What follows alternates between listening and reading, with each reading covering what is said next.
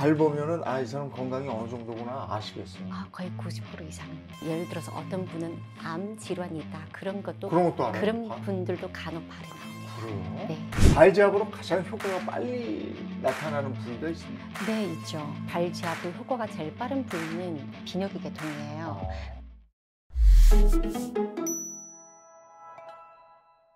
안녕하십니까 셀코TV 시청자 여러분 탐나는 일상으로 여러분과 함께 하겠습니다 오늘 정말 오랜만에 우리 셀코TV를 찾아주신 분이에요 발지압 전문가 홍혜정 원장님과 함께 하겠습니다 어서 오십시오 안녕하세요. 또 뵙게 돼서 반갑습니다. 예 반갑습니다 네, 네. 그 우리 시청자 여러분들 뿐이 아니고 저도 녹화 끝날 때쯤에 예, 발이 시원하게 풀려 있을 것 같은데 네. 이제 오늘 얘기를 잘 들으면요 건강한 발은 어떻게 생긴 발이에요? 어, 일단 건강한 네. 발이라고 생각하면요.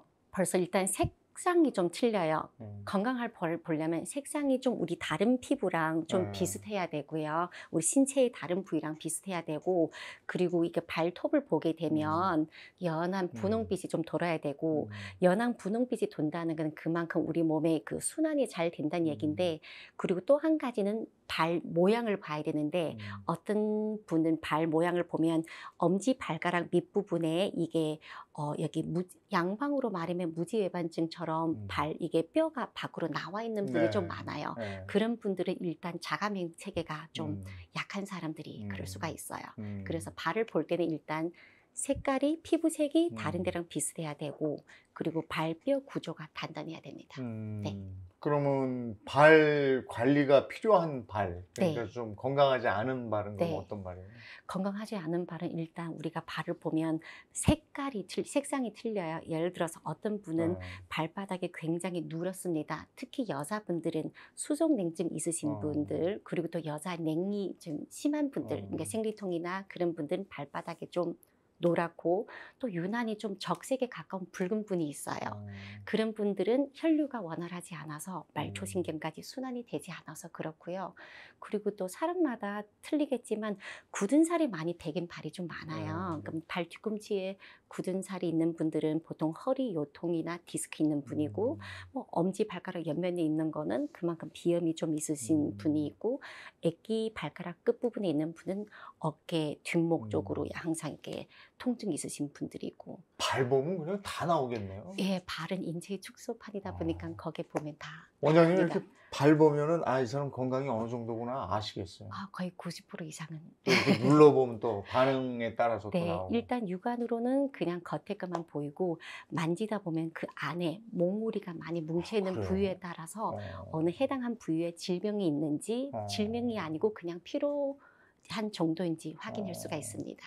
발을 보고 그 네. 병을 알아낸 사례도 있어요. 단지 어, 예를 들어서 어떤 분은 암 질환이 있다 그런 것도 그런 것도 알아요. 그런 발? 분들도 간혹 발에 나옵니다. 그래요? 네. 그러면 발제압으로 가장 효과가 빨리 나타나는 부위가 있습니다. 네, 있죠. 어, 발지압으로 효과가 제일 빠른 부위는 비뇨기 계통이에요. 어. 근데 우리가 보통 비뇨기 계통이라고 하면 네. 방광을 하고 생각을 많이 하는데요. 네. 발 반사요법에서는 일단 콩팥, 네. 요관, 네. 방광, 요도 이 네 자리를 합쳐서 비뇨기 계통이라고 하는데 그 중에도 콩팥이 제일 중요한 역할을 아, 하는데요. 심장. 콩팥에서 음. 일단 우리 소변을 만들어주고 혈액의 찌꺼기를 배출해주고 음. 우리 몸의 수분의 양과 우리 몸의 염도의 농도를 일정하게 조절해주는 그 역할을 하고 있습니다. 그럼 네. 비뇨기 계통은 발의 어느 부위를 자극해 주는 어, 거예요? 발 보면요, 제일 중앙 콩팥 부위가 보일 거예요. 췌장하고 12지장 사이가 요 관이고요. 발로 보면 제일 가운데 부분이군요. 그러니까 네, 움푹 네. 들어가 있는데. 네, 네. 그리고 발 옆면은 또 방광 부위가 있고 방광 아래로 요도 자리가 있습니다. 음, 네.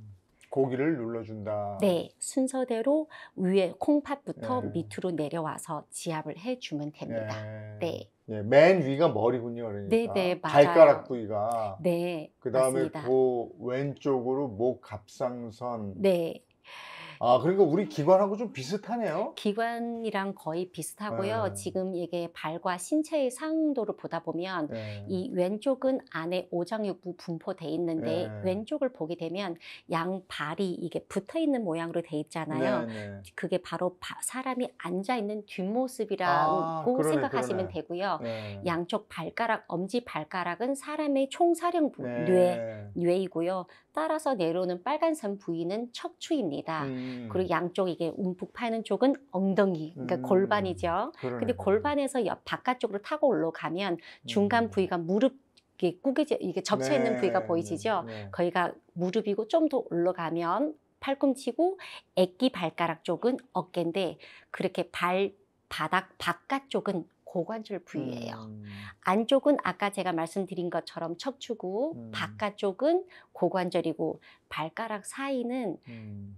어, 우리가 귀, 음. 눈 따라 올라가서 음. 중앙 엄지 발가락은 음. 뇌입니다. 아, 그렇군요. 네.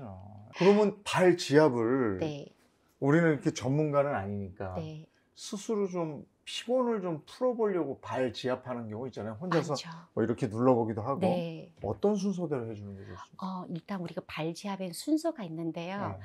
항상 처음부터도 비뇨기 계통이고요. 음. 마무리도 비뇨기 계통을 그럼 하는데 밑에서부터 하나요? 아니죠. 가운데인가? 비뇨기 계통은 아까 제가 말씀드린 것처럼 가운데. 콩팥, 아, 예.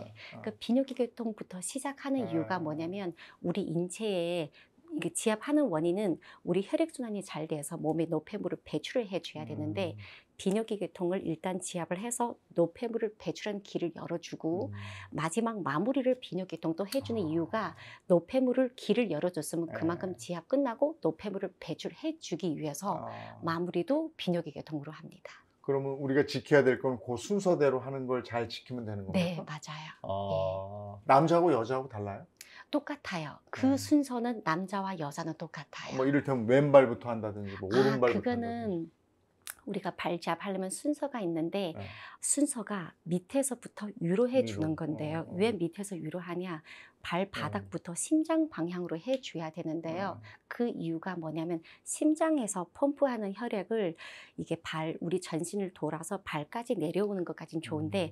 발에서 심장으로 올려 보내려면 중력의 반대 흐름으로 해야 되기 때문에 쉽지가 않아요. 음. 그래서 항상 첫 번째는 방향은 발에서부터 심장 방향으로 위로 지압을 음. 해줘야 되는 건첫 밑에서부터 번째고요.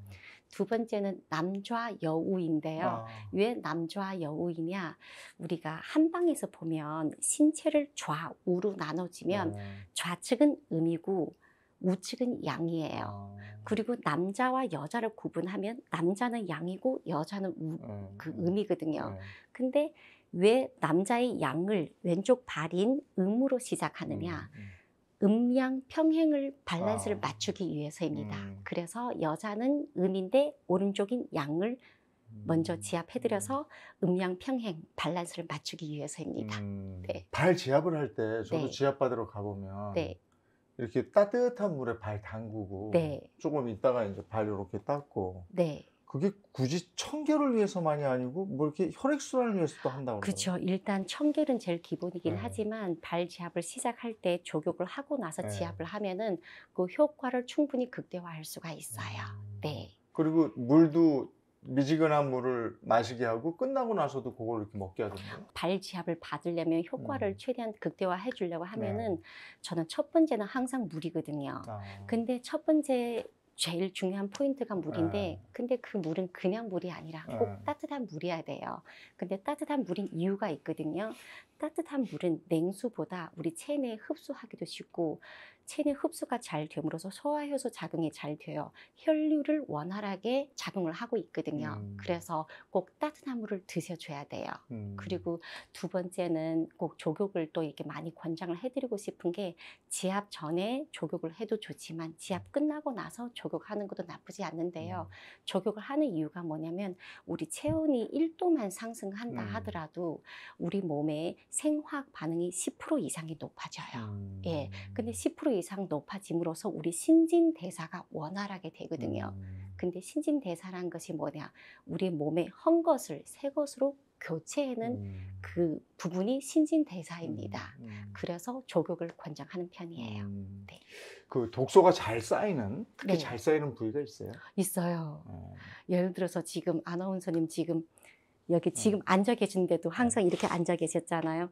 주로 독소는 우리 몸에 접치는 부위가 많이 생기는데 그 음. 접치는 부위가 겨드랑이, 아. 여기 상체 림프, 여기 목 부에도 림프고 림프관 그리고 지금 우리 여기 사타구니. 서해부 여기도 림프고 무릎 뒤에 오금살에도 아. 림프입니다. 림프절에 독소가 제일 많이 쌓여요. 네. 그 이유도 여러 가지 있지만 특히 이게 속옷을 좀 너무 꽉 조이는 음. 옷을 입어도 문제가 되고 지금도 이게 젊은 애들은 바지도 너무 꽉 조이는 걸 많이 입잖아요. 요즘에 그 유행이잖아요. 네. 그래서 어. 집에 계실 때는 여자들은 다 이해하실 거. 집에 들어가면 제일 먼저 벗는 게 속옷일 거예요. 어, 편안하게. 네. 예. 근데 그렇게 해준 게 좋은 게 그렇게 해줌으로써 우리 음. 림프 이쪽에 압력을 좀 풀어줘야 음. 순환이 좀 잘 되고 독소가 좀 덜 쌓이게 할 수 있습니다. 예. 네. 어떻게 그럼 풀어줘요? 림프를 이렇게 이렇게 좀 해줘. 어, 일단 세안할 때 네. 사람들 보통 세안하면 얼굴만 하는데요. 예. 세안할 때 이왕이면 목까지 좀 예. 더 같이 지압을 해주는 것도 좋고 예. 누워 계실 때 좀 이렇게 겨드랑이도 좀 풀어주거나 음. 사타구니 쪽도 좀 풀어주고 그냥 혼자 하는 게 생각보다 쉽지는 않을 거예요. 음. 단지 그냥 손으로 이렇게 두드려 주는 것만으로도 좀 어느 정도 예, 좀 풀어주는 역할이 될 수가 있습니다. 음. 네. 자 이제 그 우리가 발에 대해서 전반적으로 알아봤고요. 네. 이제 홍혜정 원장님 기왕에 나오셨으니까 네. 예, 증상별 지압법을 한번 배워보려고 하는데 네. 네.